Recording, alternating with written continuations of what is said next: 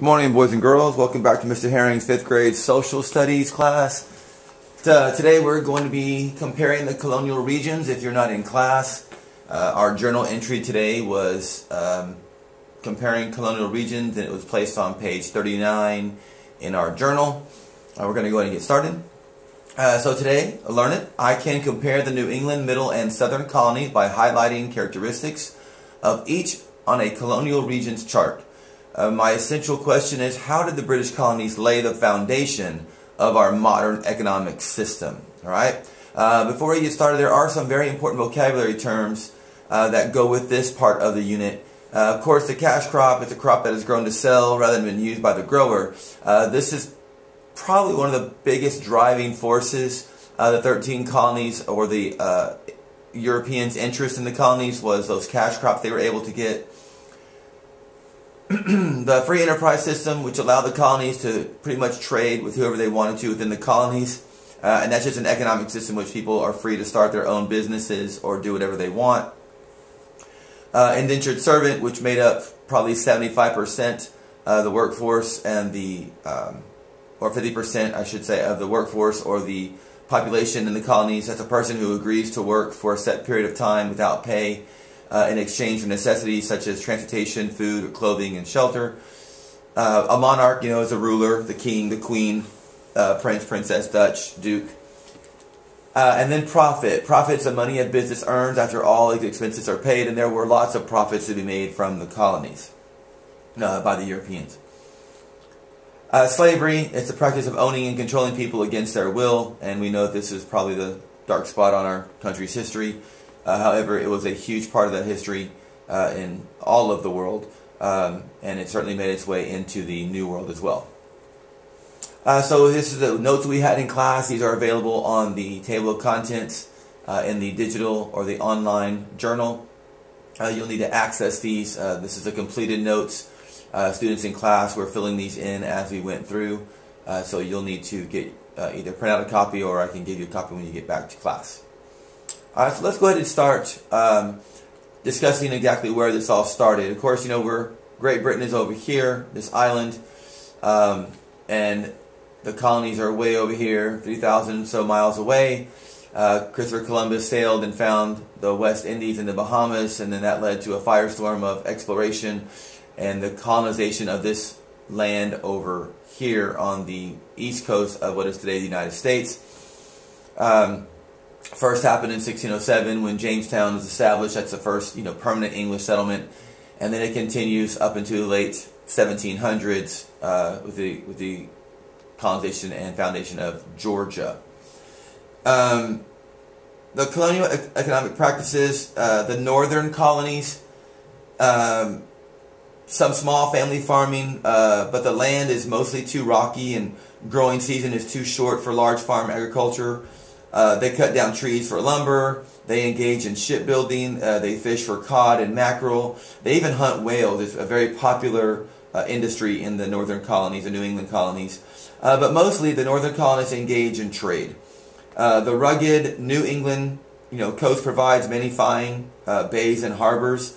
the New Englanders become great traders known to the rest of the, the world as Yankees, probably from Indian word meaning, you know, the, the light skinned or pale skin.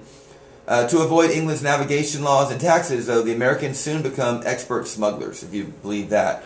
Uh, they were, even back then, they were trying to avoid paying taxes and became really good smugglers. The New Englanders developed the, the triangular trade route, which we will discuss in more detail tomorrow. Uh, and the dangers of the sea uh, keep fish keep profits really high, um, but wealthy, you know, the wealth is fairly low. Um, you know, there's pirates, there's all kind of dangers in the sea, so it's it's it's very very high profit.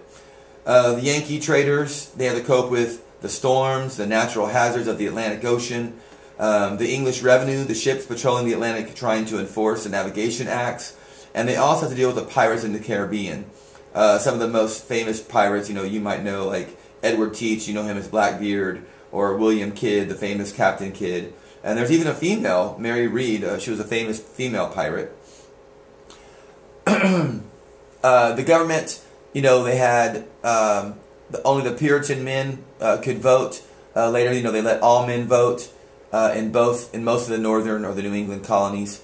Um, the middle colonies, you know, like New York, Pennsylvania, um, a little bit different.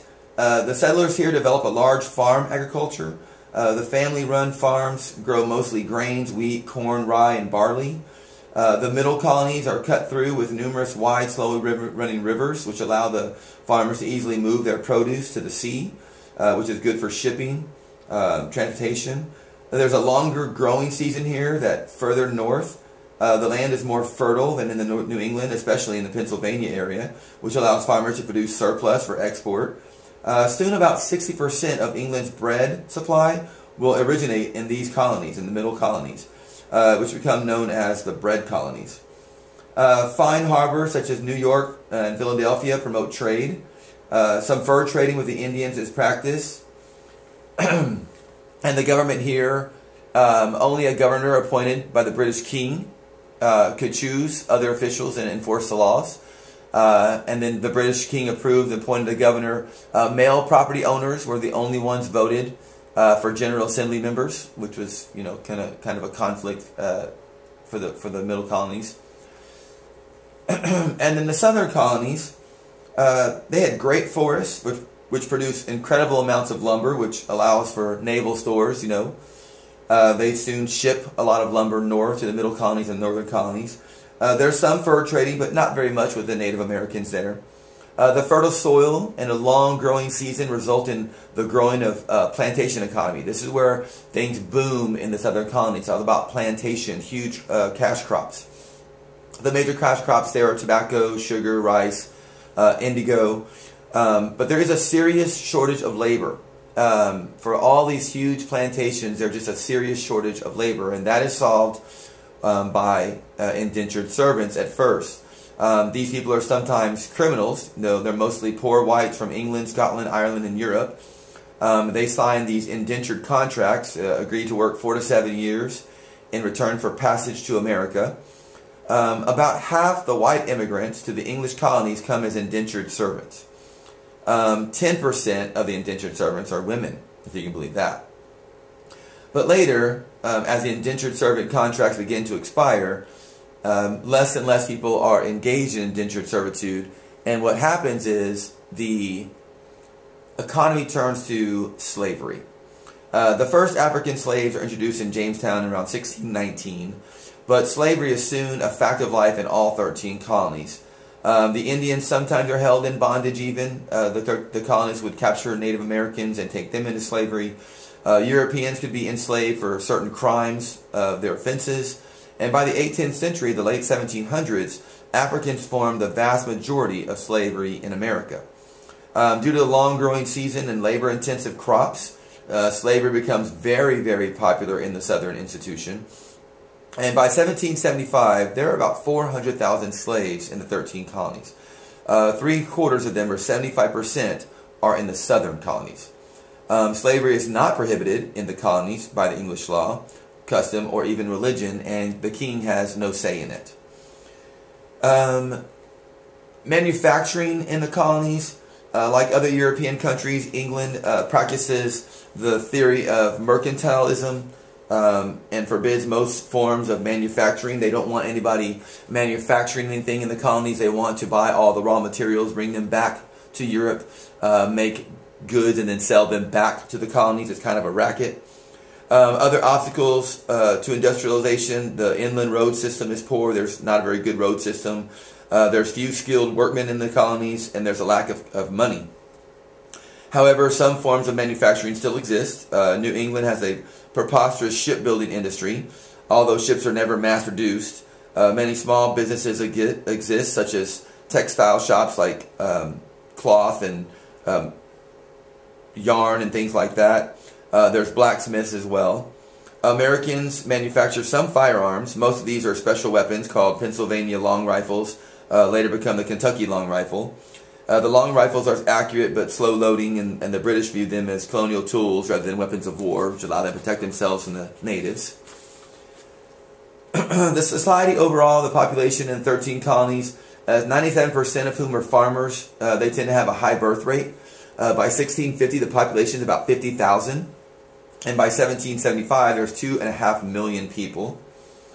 Uh, the education in the colonies, colonists tend to be better educated than folk in the mother country. Uh, in 1642, Massachusetts passes a, um, an education law. Uh, education is considered necessary for Bible reading, of course. Um, as we all know that religious freedom was one of the big um, proponents for settling the colonies. Uh, colleges are established. America is the only one of England's colonial domains to, to actually have colleges. Harvard established in 1636, uh, Yale in 1701, Pennsylvania in 1751, and then we get Columbia in 1754. Uh, papers, newspapers, and libraries are established. Ben Franklin establishes a library in Philadelphia. He also publishes Poor Richard's Almanac. Um, the first newspaper, the Public Occurrences uh, from Boston uh, in 1690, uh, is established. Uh, the religion in the colonies, there is no single dominant religion. Um, about 500,000 belong to the Church of England. Uh, in 1775, um, you've got New England Cong you've got Presbyterians, you've got Dutch and German Reformed churches, um, you got Quakers, Lutherans, uh, Baptists, Methodists, Catholics, and Jews. Uh, most colonies were established with religious toleration in mind, except for Massachusetts.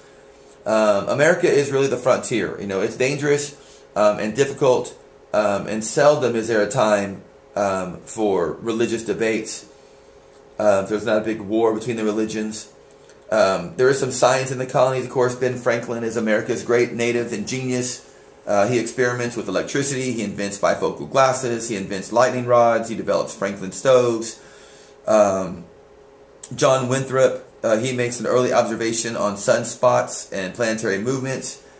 Um, there's lots of science, um, but the, there's a, there's some superstition that goes on in the colony that's not usually talked about.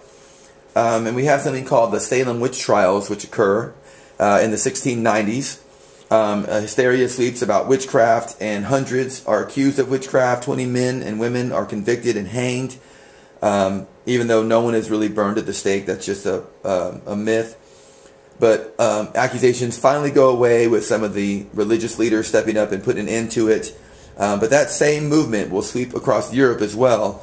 Uh, but in Europe, the, it causes the death of thousands. Uh, so overall, the 13 colonies uh, were very, very successful uh, for Great Britain. Um, that, of course, comes to a screeching halt um, in the 17 mid 1700s um, with the exhaustion of the king by the people of the colonies, um, the tax over taxation and things like that start to come to a head, uh, and it all comes to an end for the uh, British government. Uh, but those are the colonies uh, in a nutshell. Um, we will be gluing this into page 39 if you were able to print them at home. Uh, and tomorrow we will discuss um, the slave trade and how slavery becomes such a huge uh, factor in the colonies. All right, we'll see you guys tomorrow. Enjoy your day.